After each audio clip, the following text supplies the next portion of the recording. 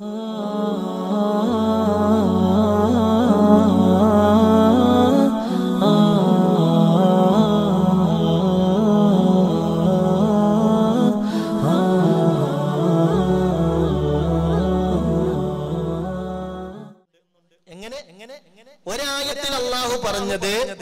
അൻപതിനായിരം കൊല്ലമെന്ന് മറ്റൊരായത്തിൽ അള്ളാഹു പറയുന്നുണ്ട്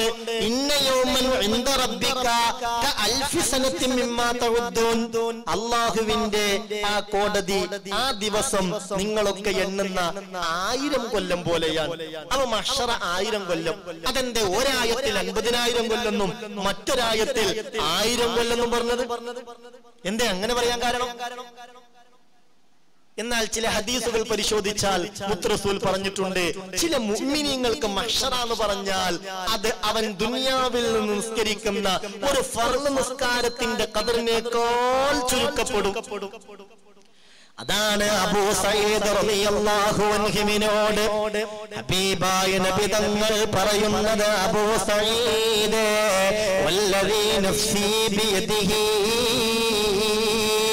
എന്റെ ശരീരത്തെ നിയന്ത്രിക്കുന്ന അള്ളാഹ തന്നെയാണ് സത്യം. ായ അല്ലാഹു ആ മഹ്ശറയെ ലഘൂകരിച്ച് കൊടുക്കുന്നതാണ്. മിൻ സ്വലാത്തിൻ മക്തൂബത്തിൻ യുസല്ലീഹാ. ഫിദ്ദുനിയാ അഞ്ചു വക്കത്ത് നിസ്കാരം ഉണ്ടല്ലോ നമുക്ക്. ആ അഞ്ചു വക്കത്ത് നിസ്കാരത്തിൽ എളുപ്പത്തിൽ നിസ്കരിച്ച് തീർക്കാവുന്ന നിസ്കാരമാണ് സുബഹി നിസ്കാരം. ഏയ് ആ സുബഹി നിസ്കാരത്തിന്റെ കബറിനേക്കാൾ ചില മുഅ്മിനീങ്ങൾക്ക് മഹ്ഷറ അള്ളാഹു ചുരുക്കി കൊടുക്കുമെന്ന് അഷ്റഫുൽ ഖൽഖ് മുത്തു മുഹമ്മദ് മുസ്തഫ. അപ്പൊ മഹ്ഷറയുടെ ദൈർഘ്യം കൃത്യമായി എത്രയെന്ന് പറയാൻ കഴിയൂല. പിന്നെ ഈ ദുനിയാവിൽ നിന്ന് മുമ്മിനെ ഇത് ശ്രദ്ധിക്ക മുമ്മിനെ. ദുനിയാവിൽ നിന്ന് ജല്ല ജലാലായ അള്ളാ. അല്ലാഹു നമുക്ക് തന്ന സമയമുണ്ടല്ലോ. ആ സമയത്തെ നമ്മൾ എങ്ങനെയാണോ ഉപയോഗപ്പെടുത്തുന്നത്? അതിനനുസരിച്ച് മക്ഷറയുടെ ദൈർഘ്യം കൂടുന്നതാണ്. അതിനനുസരിച്ച് മക്ഷറയുടെ ദൈർഘ്യം കുറയുന്നതാണ് ഒരാൾ എന്ത് ചെയ്തു എന്നറിയോ? അയാൾ മനസ്സിലാക്കി ഈ ദുനിയാവിലുള്ള എന്റെ ഏറ്റവും വലിയ ക്യാപിറ്റൽ എന്റെ മുടക്ക് മുതൽ ഈ സമയമാണ് ഈ സമയത്തെ എത്ര കണ്ട് റബ്ബിന്റെ പൊരുത്തത്തിൽ ഞാൻ ഉപയോഗപ്പെടുത്തുന്നുവോ? അതിനനുസരിച്ച് പരലോകത്ത് ഗുണം ലഭിക്കും. അങ്ങനെ ചിന്തിക്കുകയും പരമാവധി സമയം അള്ളാഹുവിന്റെ പൊരുത്തത്തിലാക്കി മാറ്റുകയും ചെയ്താൽ അവർക്ക് മഷറയുടെ ടൈം കുറയും. എളുപ്പത്തിൽ സ്വർഗത്തിലേക്ക് എത്താം. എന്നാൽ സമയത്തിനൊന്നും ഒരു വിലയും നിലയും കൊടുത്തില്ല ടൈം പാസിന് വേണ്ടി പല തോന്നിവാസങ്ങളും ചെയ്തു. പല സുഖങ്ങളുടെയും പിന്നാലെ പോയി. അങ്ങനെയുള്ള ആളുകൾക്ക് മഷറയുടെ ദൈർഘ്യം കൂടും.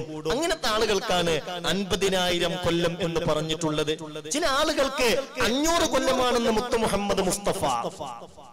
ചില ആളുകൾക്ക് മഷറ നൂറ് കൊല്ലമായിരിക്കും.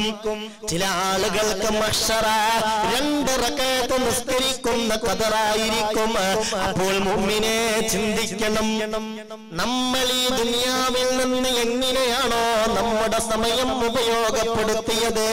അതിനനുസരിച്ചാണ് മഷറയുടെ ദൈർഘ്യം കൂടുന്നതും കുറയുന്നതുമൊക്കെ അള്ളാഹു അള്ളാഹുവിന്റെ പൊരുത്തത്തിലായി സമയം ചെലവഴിക്കാൻ നമുക്ക് തൗഫീക്ക് തരട്ടെ. ഏതായാലും ആ മക്ഷറയിൽ ജനകോടികളെ ഒരുമിച്ച് കൂട്ടും. മഹാനായ ഇമാം ഗസാലി തങ്ങൾ പറയുന്നുണ്ട് കേവലം മനുഷ്യരെ മാത്രമല്ല മുമ്മിനെ നിങ്ങൾ വിചാരിച്ചത് മക്ഷറയിൽ മനുഷ്യർ മാത്രമായിരിക്കുമെന്നാണോ? അല്ലയല്ല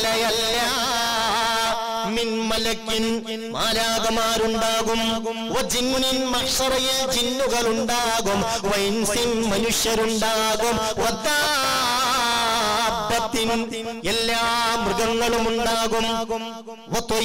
എല്ലാ പക്ഷികളും ഉണ്ടാകും. ഇസ്സത്ത് ഈ ഭൂമിയിൽ പടച്ചയച്ച എന്തെല്ലാം ഉണ്ടോ അതൊക്കെയും മഹ്ശറയിൽ ഉണ്ടാകുമെന്ന് ഹബീബായ മുഹമ്മദ് മുസ്തഫ സല്ലല്ലാഹു അലൈഹി വസല്ലമ തങ്ങൾ പറഞ്ഞ ഹദീസ് ഉദ്ധരിച്ച് വിശദീകരിക്കുന്നുണ്ട്. മഹാനായ ഇമാം ഗസ്സാലി റഹ്മത്തുള്ളാഹി അലൈഹി. മനുഷ്യന്മാര് മാത്രമൊന്നുമല്ല. മലക്കുകൾ ഉണ്ടാവും ജിന്നുകൾ ഉണ്ടാകും കാട്ടുമൃഗങ്ങൾ ഉണ്ടാവും നാട്ടുമൃഗങ്ങൾ ഉണ്ടാകും പക്ഷികൾ ഉണ്ടാകും ചെറിയ പ്രാണികൾ ഉൾപ്പെടെ എല്ലാം ഉണ്ടാകും എന്നിട്ട് എത്രത്തോളം അറിയോ ഈ ഭൂമിയിൽ നിന്ന് കൊമ്പില്ലാത്ത ഒരാടിനെ കൊമ്പുള്ള ഒരാട് കുത്തിയിട്ടുണ്ടെങ്കിൽ ഈ രണ്ടാടിനെയും മഷറയിൽ കൊണ്ടുവരും. ദുനിയാവിൽ നിന്ന് കൊമ്പില്ലാത്ത ആടിന് അള്ളാഹു കൊമ്പ് കൊടുക്കും. ദുനിയാവിൽ നിന്ന് കൊമ്പുണ്ടായിരുന്ന ആടിന്റെ കൊമ്പ് അള്ളാഹു നീക്കം ചെയ്യും. തിരിച്ചു കുത്തിക്കും. അങ്ങനെ ജീവികൾക്ക് പോലും കിസാസ് ഉണ്ടാകും എന്ന് മുത്തു മുഹമ്മദ് മുസ്തഫ. ഇതെന്താ നമ്മളെ പഠിപ്പിക്കണേ? മനുഷ്യന്മാരെ വിവേകശക്തിയില്ലാത്ത ആടുകൾക്ക് പോലും മൃഗങ്ങൾക്ക് പോലും കിസാസ് ഉണ്ടാകുമെങ്കിൽ പ്രതികാര നടപടി ഉണ്ടാകുമെങ്കിൽ അള്ളാഹു വിശേഷ ബുദ്ധി തന്ന മനുഷ്യന്റെ കഥ എന്തു പറയാനാണ് റബ്ബേ? അള്ളാഹു തല നമ്മളെ കാത്തിരക്ഷിക്കട്ടെ ah